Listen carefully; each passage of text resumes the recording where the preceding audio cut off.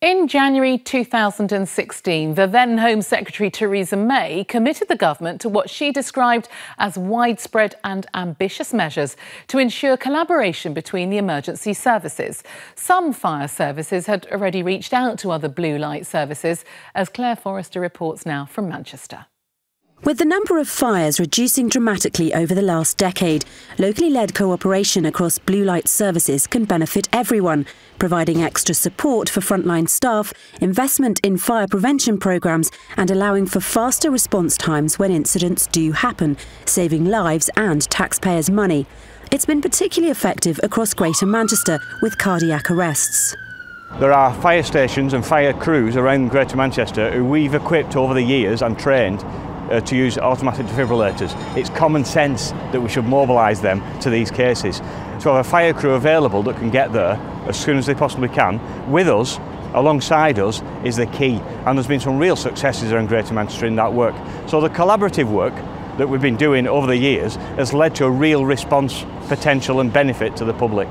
Public events like this Emergency Services 999 Day in Manchester clearly show the police, the ambulance and the fire and rescue services working together. And behind the scenes, they're continually collaborating to reduce preventable fires and accidents and thereby relieve the pressure on the NHS and local authorities. The government has invested over £80 million in joint blue light projects like the Community Risk Intervention Teams in the Northwest. Known as CRITS, this pilot scheme saw firefighters working with the police and ambulance service to help reduce the risk of falls and accidents among the elderly and vulnerable.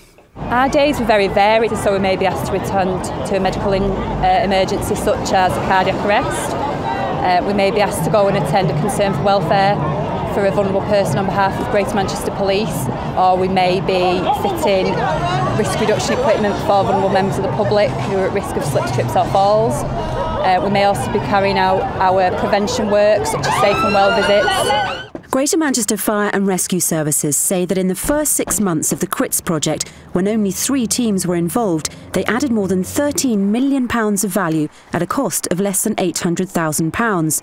The CRITS teams are now being disbanded and training is being given to carry out their role on a much larger scale throughout the whole fire service.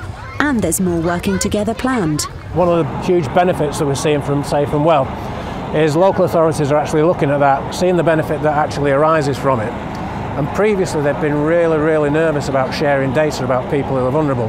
But we're now starting to see some of those barriers actually come down and people are a lot more willing now to, to at least have a conversation about what information they might actually share with us.